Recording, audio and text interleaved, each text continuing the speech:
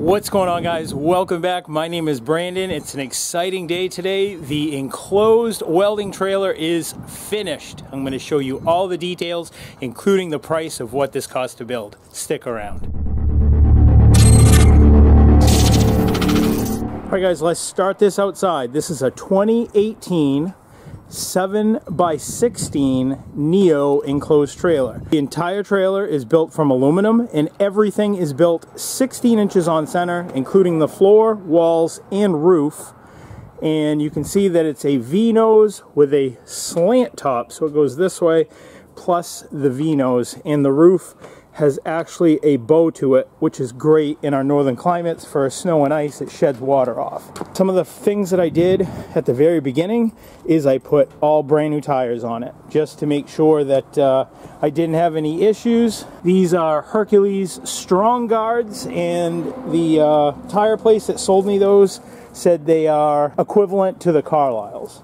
Here's a look at the back of the trailer. It's got stabilizer jacks that go down on each side so you can load a motorcycle or whatever for equipment. I got an awesome deal on this trailer because this panel here and these panels here have some dents in them.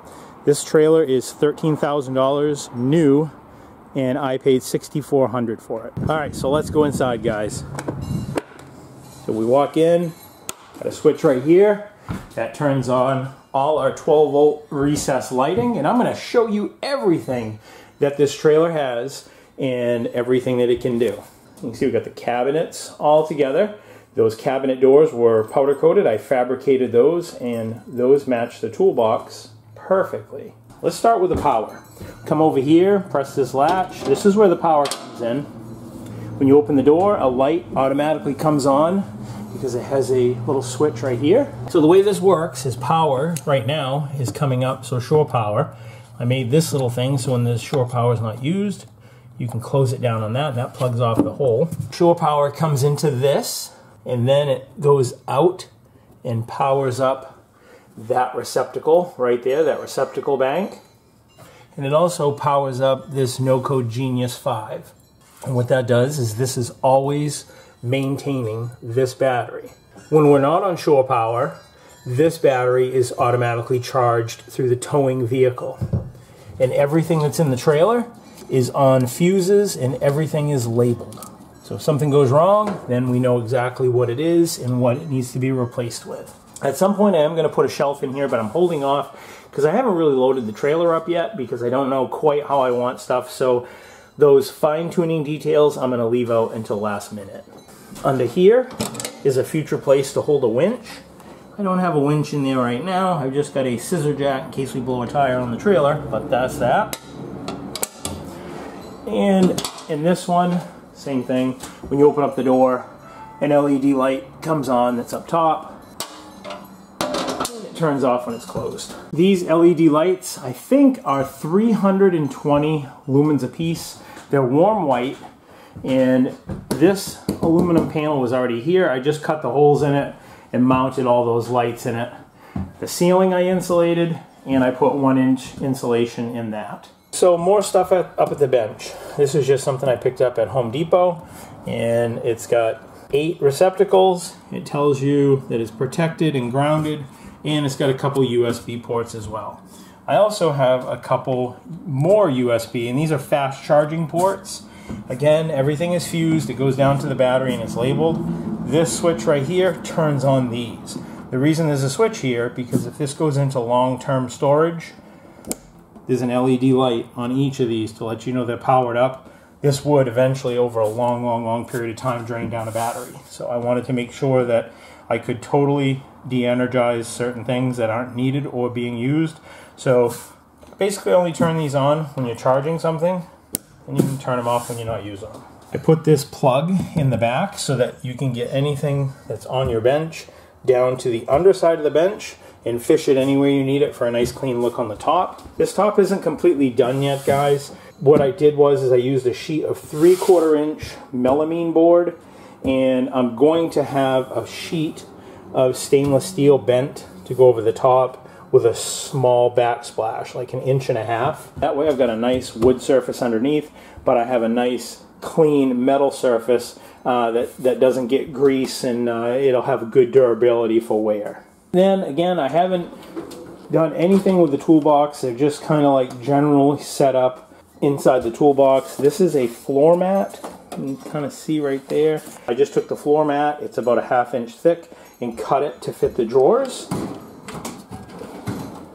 This is a Craftsman tray that I picked up, an organizer. Again, like I said, I don't have this laid out yet because I haven't put everything in it yet. This bottom drawer will stay like this. This is all straps and everything related to this E-track or tying down stuff.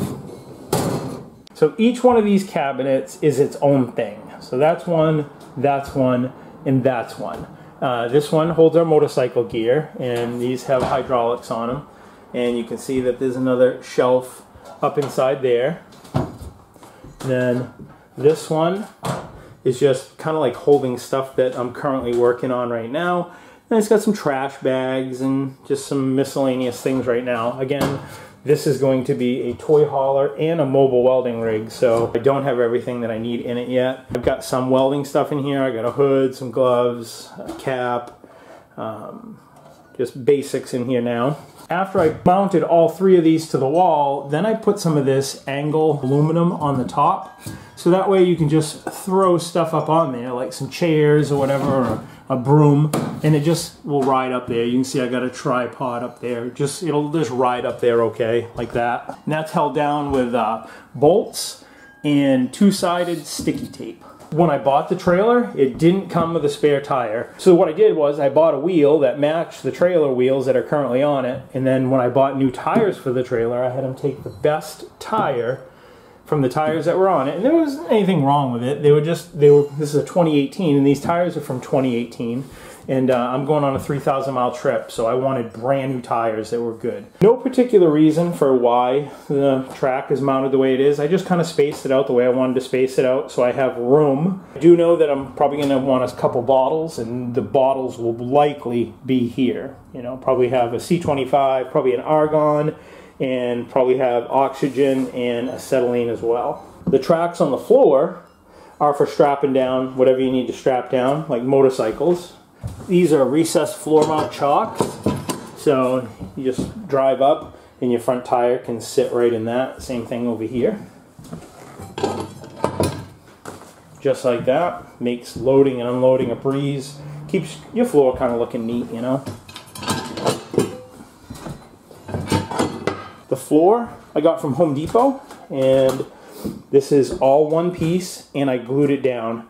Uh, this is 7 foot by 17 foot. I, have been waiting to put the cabinets in last because I wanted uh, to have the insides covered as well. So this is all one piece all the way to the front. Really like that feature though, the lights turning off and on. You can see is the contact switches that do that and that's the light up top just a general trash can. So if you work in here, you got rubber gloves or whatever, you can clean up after yourself. That's a little buddy heater that will maintain this trailer at 70 degrees when it's, you know, negative zero out. This right here, what this is, is just for basically convenience, for grabbing stuff that you use all the time. Has a little workbench here, you can put chemicals in there, but this will be the stuff that you use all the time. I'll probably have like MIG wire, just all kinds of um, various things here that you want to reach and get to easily and quickly. One other thing I wanted to show you too is that when I laid these out, I wanted to make sure that they didn't get damaged. So you can see I put a rubber stop right there so the doors don't get uh, all dinged up. And I did the same thing here. So if these jackets aren't right here like it is now, these will contact that stop down there. The walls were already plywooded when I bought the trailer and somebody had already painted it. So all I had to do is go to Sherwin-Williams and I bought some really nice paint and uh, painted the walls. The tailgate is not done either. I'm going to do this in black, but like I said, in about two or three days, I'm leaving for a 3,000 mile trip with this trailer. So I'm kind of got everything just as done as done can be. So it's almost 100%. But this I want to do in black. Same thing as this, but black. And then it's going to have that same aluminum trim strip that I put down there around the perimeter of this. So basically like like your house, how you'd have an accent wall in your house, that's kind of how this trailer will look. So you'll have gray and black, you know, that's kind of the theme. And then that will be black with the aluminum trim around it. I think it's going to look really good because it'll kind of tie in that whole cabinet theme up there. I also bought a portable chemical toilet. I think it's called Thetford. It's a cassette toilet. So that way if you're on a long trip with kids or whatever, or you're caught in traffic and they've got to use the bathroom and it's an emergency, it's going to be back here, supposedly really slick. So it's just going to sit here, kind of be strapped to the wall. This right here is actually a um, clothesline. So it goes across, it hooks into this receptacle right here, and I'm putting a shower curtain on this just so you have a little bit of privacy. So when you're sitting back in here doing your business, if somebody opens up the trailer and needs to do something, you're just kind of not sitting out there in the open. Uh, another added benefit of this would be uh, like when you go to a hotel and you're going swimming, uh, you take your wet clothes and you can just kind of hang them up here when you go down the road and uh, your clothes will dry as you go to your next destination. It's got good ventilation because it's got factory vents here. It's also got a vent here, but you want to keep this closed when you're in transport. And it's also got another vent right here. This camera right here is pretty slick. This is a HaloView part of the BT7. What this is, is that this will monitor the cargo inside the trailer as you're going down the road. And in a recent episode, I also mounted another camera at the back of the trailer facing backwards. So when you're backing up, you can see behind you. And I also have an LED that turns on when you put the vehicle in reverse to shine in behind you so you can see real good as well. And this is another one of those things that you don't want this necessarily running all the time. So I come over here and you can see I've got this right here, it says camera. When you turn that on, that red light turns on and now you can see, see the little blue indicators up in there? That is a sensor that automatically will turn on lights right here when it gets uh, dark if you want to. You don't have to have them come on. These will turn on when it gets dark to help light up in behind you. And you can also change and turn that off and on from the display. And I'm going to show you how that works right now. All right, so now I'm in my truck. It's a 2018 F-150. Uh, it's got the 3.5 EcoBoost. I think it has like, um, I don't know, maybe like 13,000 towing capacity. So it'll easily tow this trailer. All right, so this is the monitor. It's a 7-inch color monitor. And uh, let me put the truck in reverse. Look at that. You can see I'm not connected to the trailer at all. The, the ball's not on the truck. There's no wires, nothing, okay? So I'm back in park. And the way this works, you just turn on your monitor. And I turn the cameras on in the trailer. Remember, the, the cameras are currently on. That's behind me right now. That's what that sees. Okay, these also have sound as well. It's probably hard to see, but right up here, there's a yellow uh, speaker with an X through it. I have the sound off. I don't need to hear, you know, the, behind me. If I press this button here once, that's going to go to a split screen. Press it again. It's going to be inside the cargo box. So that's inside the trailer right now. And that's that's real time. That's what you see inside the trailer. We'll go close the door and I'll show you a couple other things. So up here again, you can see it's the light is on, so it's set for auto. The speaker is off. And I will tell you that, you know, driving down the road 10 o'clock at night, that's how bright it is inside that trailer. It's just like that going down the road. It is incredible. So let's say, you know, you want to monitor both. Uh, the way I have this wired up is that the backup camera is always on. So it's always, as long as the switch inside the trailer is on, it's doing something. This also has an SD card that it can continuously record. And this here, right here, is a sensor. And when it starts getting dark, what that does is that'll illuminate, I don't know if you can see them, these buttons along the side, these will light up, kind of like how that one is illuminated green, it'll light all these up as well. So if you want to watch two things, let's say you want, you can have up to eight cameras with this too, by the way. If you want to watch both cameras, just hit it again. There's the back camera. And now that'll be split screen. So that's channel three and channel four. So the inside cargo is there and the backup is there. But I want to show you something. Supposedly this will do like 970 feet in distance, and I know it will. Okay, so there's the inside of the trailer. Okay, you see where I am right now? So you can kind of see both. Look, I'm going to pull ahead. Make sure I don't run over my dog. Okay, yeah, she's good. I'll show you the trailer here. So we're still looking inside the trailer, okay? Now I'm going to put the truck in reverse and you can look at my reverse screen. Look how far back the trailer is. The trailer is like right there. This is an incredible system, guys. Now, the reason I'm I wanted this system, and I don't know as if I mentioned it in the episode where I installed the camera, is that a few years ago, I had just finished building my wife's XR100, and I'll have a link to that video over on my Motivated channel.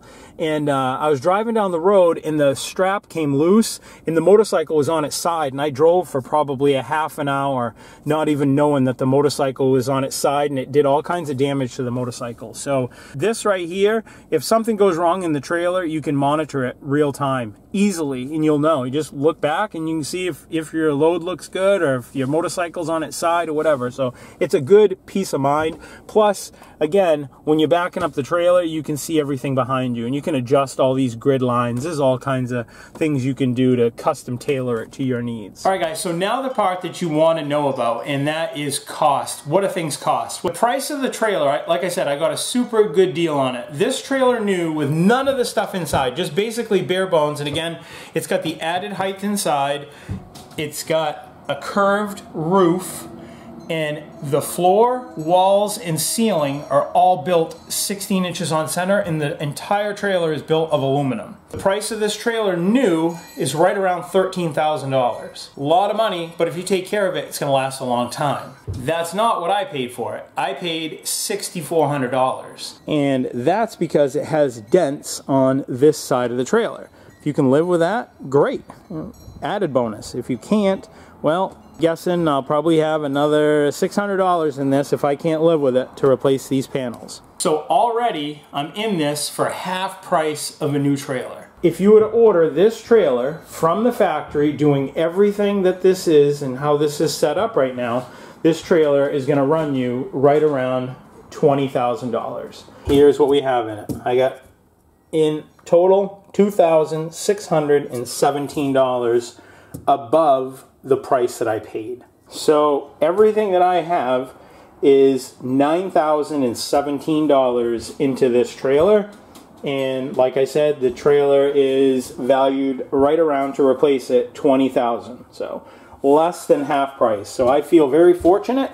That's why it's not such a big deal for me to spend $2,600 on this because the value that I'm getting for what I put into it is a lot. So the paint that was crazy expensive. You guys know the story behind that. They wanted over $100. So $78 for paint. Got the flooring at Home Depot, that was 339. The glue that they recommend for it was $33. The, wiring, so that's wire, connectors, all of the switches and everything, 100 bucks. The hardboard, the white melamine on the ceiling, I got that from Home Depot, $72. In the insulation, I also got it Home Depot, that was $88. The black wall cabinets, those are $110 a piece. So $330 for all three of them. And I got those on Amazon and those are made by Vevor. They sell a whole bunch of stuff. I just love how these work. They're, they're a real good cabinet. They're not like industrial grade, but they're good. They're good enough for what I need it for. The aluminum wall cabinet, 159 I also got that on Amazon. That's this cabinet right here. And that's through Prairie View Industries. They were just selling it on Amazon. The screws, these specialty screws, were $60. I got all of those on eBay. And that's like these special screws here, these white ones. Then I bought the black ones for the E-track, and then the silver ones for where it goes into the bare aluminum. The Halo View system, that's more of a comfort thing. So that's 359 plus the other camera. The second camera is another 100 bucks, Amazon. And the aluminum cabinets and powder coating, 600. And if you remember, I had to buy a whole sheet of aluminum to do this, but I didn't figure all of that. That's just what I have in this cabinet. So 600 bucks for all of this. And I got $300 in E-Track. And again, uh, it doesn't include the $600 that I replaced the tires. That's something that you just have to do anyways. Like I said, this trailer is a 2018 and it's now 2023. They were the original tires and they were in okay shape, but nothing I would want to travel 3,000 miles on. I wanted brand new tires that were good quality, high quality tire. And these aren't a load range E, and I did that for a reason. They're a load range D, but these are really high speed rated. I think these are for 86 miles an hour. Because this trailer is so light, I didn't want this trailer when it's empty riding like a dump truck. So that's why I didn't get load rated E tires. It's not necessary for this. It would be way overkill and this trailer would ride like trash. These are Hercules strong guard tires and uh, like I said the lady that used to haul horses in and she'd haul them cross country and back and she said she had these tires on her trailer and this same lady works at the tire company that sold me these tires so she recommended these she said she uses them for her business absolutely loves them and uh, swears by them. So I bought these based on her recommendation, and she said they're just like Carlisle tires, same equivalent. Carlisle's a real good tire. U-Haul uses uh, Carlisle tires on their trailers, so if it's good enough for U-Haul, you know they're probably a good tire. And this lady said that these are real good too, so we'll see. All I got left to do now is I just got to start loading this up. But like I said, I don't know exactly what I want to put in it. I've got a few little minor details, nothing serious to get this completely dialed in, but we're going to be doing a 3,000 mile road trip. We're throwing a couple bikes in it, and then when I get back, I'm going to put all my welding equipment in it, and we're going to start doing some mobile welding jobs out of this. Make sure you stick around next week because I got a mobile welding job that we're going to be doing. I hope you guys enjoyed this series. I really enjoyed doing it. I'm really proud of what I've accomplished here and what I've created. I've, like I said, I've got $9,000 in this whole project. This completed trailer is still way less than you could buy a bare bones strip trailer for, and I am so happy with the ultimate results. Until next week, guys, I will see you then. Take care, stay safe, new videos every Friday. Until then, God bless. See ya.